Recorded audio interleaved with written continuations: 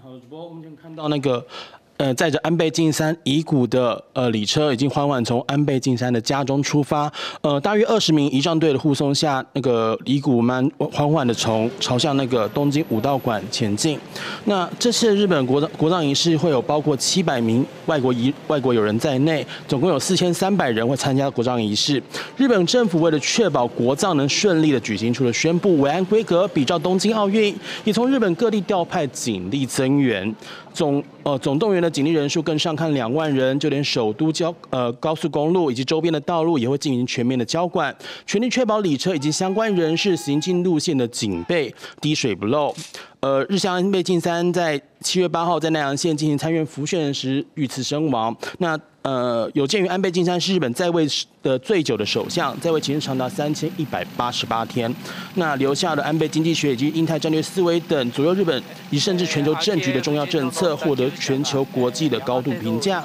日本岸田文雄呃，首相岸田文雄也决定替他在二十七号，也就是今天举行国葬。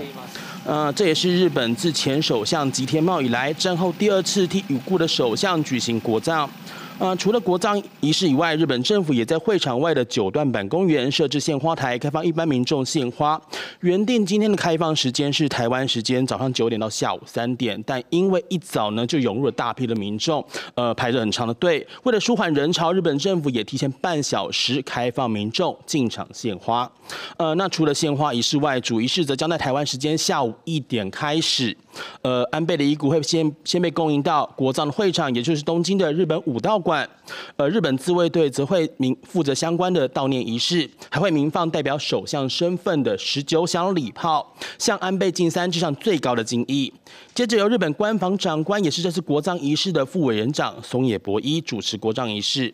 而这次国葬仪式的奠基会场，则是由安倍晋三生前最爱的呃富士山为背景设计而成。呃，仪式开始后呢，会先呃演唱日本国歌，然后接着会进行默祷，并且在